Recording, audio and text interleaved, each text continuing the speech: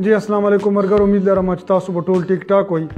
زما نوم عبدالخالق خټک دی نن په دې ویډیو کې زه تاسو سره د بیفلام ګلو باره کې مکمل انفارمیشن شیر کوم چې بیفلام ګولۍ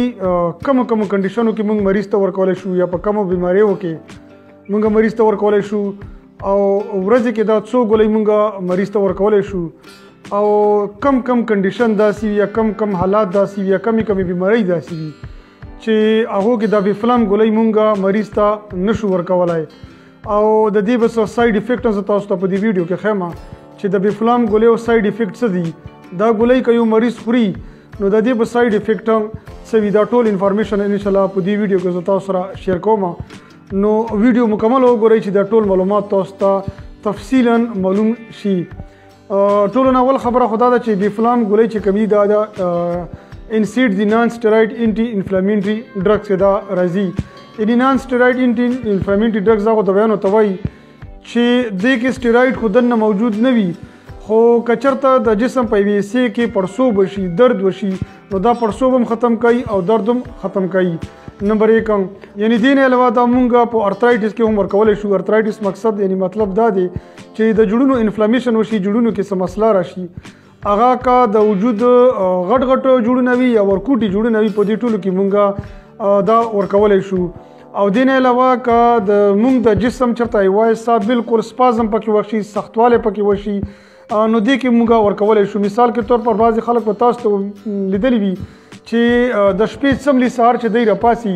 د سټي بالکل انخته وي یعنی د سر د موومېنټ نشي کولای او د سم د موومېنټم نشي کولای نو دې ته مونږه میډیکل کې سپازم وایو یعنی که د سټم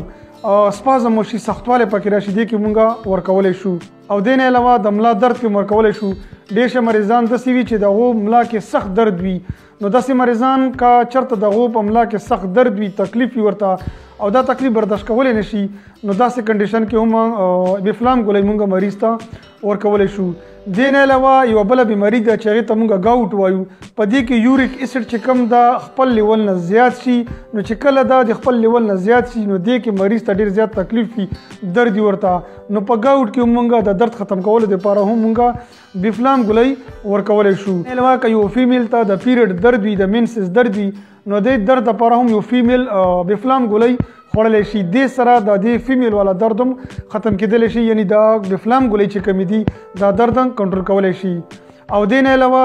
که چا په غاښونو باندې درد وي یا په غوږونو باندې درد وي د دې غاښونو او د غوږ درد لپاره هم دا فلام ګولۍ کار کوي دې نه علاوه که داسې یو مریض وي هغه ته میګرین وي میګرین مطلب دا دی چې د نیم سر درد ورته وي نو په دې کې هم دا کار کوي اوس دوستانو راځو چې د دې ډوز څه دی د دې چې کوم افیشل ډوز دی دا په ورځ کې مونږه درې ټیمه ورکولای شو سهار غرمه مخام د روټۍ نه تقریبا نیمه ګنټه ورستو مونږه دا ګولۍ ورکولای شو اوس راځو چې د دې ساید افیکټ څه دی دا سټمک اپسیټ کوي یعنی د کوم مریضانو چې معده خراب وي معده کې تکلیف وي یا د ته تروي تروي بخلی ترزي نو داسې مریض ته دانه دي خوړل پکار ول چې ډیر ته زیات نقصان ورکول شي ابډامینل پین د ګیډې درد هم کېدلی شي